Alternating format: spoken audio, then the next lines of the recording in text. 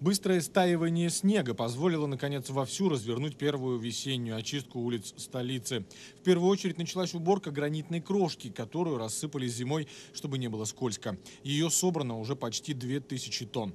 С улиц убраны еще и 135 тонн бытовых отходов. Горожане нынешней зимой почему-то особенно охотно выбрасывали их прямо на улицы.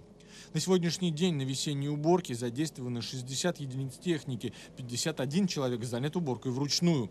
Представители коммунального департамента обращают внимание владельцев земельных участков, что пора и им начинать уборку на территории своей недвижимости и прилегающем к ней тротуаре. Такая обязанность возлагается на собственника городскими правилами благоустройства. Темпы сейчас э, хорошие.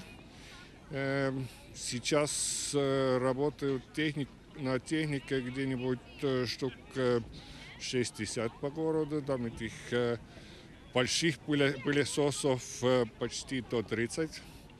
И если с такими темпами дальше идти, я думаю, что и, и уже 1 мая у нас можно сказать, что магистрали почти уже, уже э, чистые, но, конечно, мая немного продолжается. Первый из прошлого теплого сезона асфальтовый завод заработал в Таллине лишь на минувшей неделе. С сегодняшнего дня летний асфальт начали выдавать и другие заводы, что позволит наращивать темпы ремонта дорог и улиц.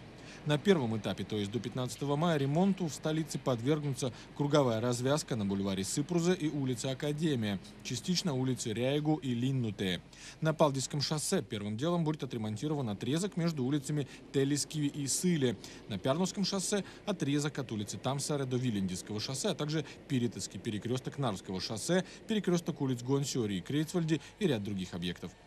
На текущий ремонт в казне города на данный момент имеются чуть более 4 миллионов евро, из которых на ликвидацию последствий зимы предусмотрено израсходовать 1 миллион 700 тысяч евро. Дмитрий Кукушкин, Сергей Попридуха, Первый Балтийский канал.